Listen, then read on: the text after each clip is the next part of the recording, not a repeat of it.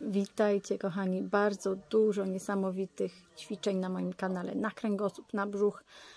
Nie zwlekajcie z tymi ćwiczeniami na kręgosłup. To jest bardzo, bardzo ważne, żeby ten kręgosłup był silny. Nie czekajmy aż nas zaboli. Dopiero wtedy siedzenie w przychodni, u lekarza, długie miesiące ćwiczeń.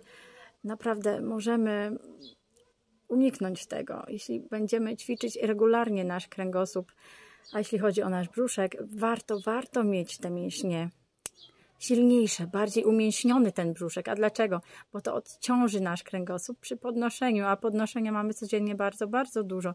Nawet jak wstajemy z łóżka, e, leżąc na płasko, jeśli nie mamy tych mięśni e, takich delikatnie umięśnionych chociaż, to już to e, obciąża nasz kręgosłup takim wstawaniem. Mm, bez tych silniejszych mięśni brzuszka, więc naprawdę bardzo, bardzo zachęcam.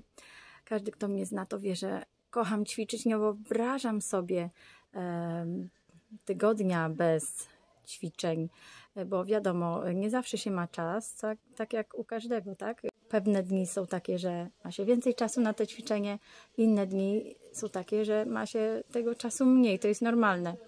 E, ale taka systematyczność, regularność to jest właśnie klucz do sukcesu.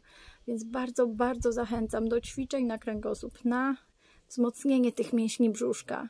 To jest bardzo, bardzo ważne. To nie jest wcale trudne. Uwierzcie mi, naprawdę. To nie jest wcale trudne, jak już zaczniecie. Wiem, że najtrudniej zacząć. Zawsze szukamy wymówek, wiem o tym.